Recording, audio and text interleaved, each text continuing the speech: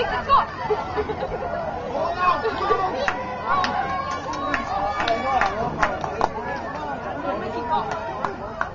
Come on, Derek, hit somebody.